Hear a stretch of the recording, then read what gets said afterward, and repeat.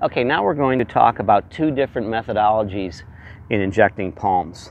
The most common one is the Viper needle, which is the black needle right here, and the use of an arbor plug.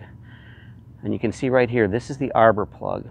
It's a two-piece plug that anchors into the palm's vascular tissue. If you look on the inside, there's a rubber septum. So when we take our Viper needle and we push it into the palm through the plug, it pierces that rubber septum. The product is delivered into the palm's vascular tissue. We pull it out and it's sealed in, in the palm. You can see these barbs on the side. That actually seals off the injection point airtight. Also, with the arbor plug, many times you can reuse it for future applications.